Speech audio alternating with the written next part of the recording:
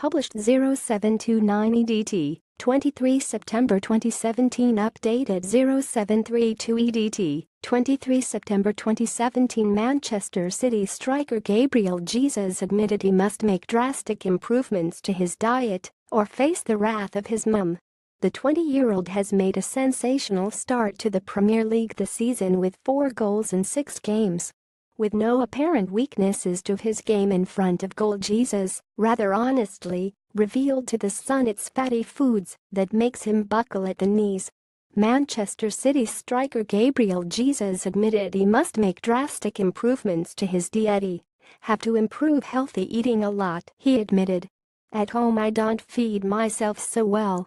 If I'm traveling, I eat bad things like pizza and pastries. I could eat pastries every day, I don't know if it's because of my age that it doesn't make any difference yet, but he'll still have to work.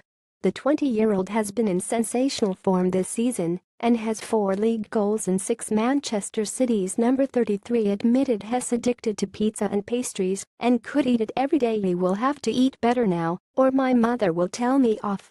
The Brazil international credited his mother, Vera, for inspiring his formidable form this season by making him eat healthy traditional cooked meals. While the youngster could find himself in trouble, if Pep Guardiola got wind of it, the Spaniard might be tempted to avoid upsetting the city current as things are going rather swimmingly at the moment. Pep Guardiola won't be too happy to hear his star striker is eating unhealthy foods, but won't want to disturb the flow of his city side, who have looked near unbeatable in recent times plus, Vera is on the case, anyway.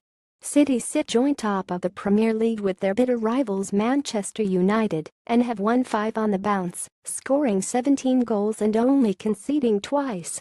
Guardiola's men will be confident of improving on that record when they take on struggling Crystal Palace at the Etihad Stadium on Saturday afternoon.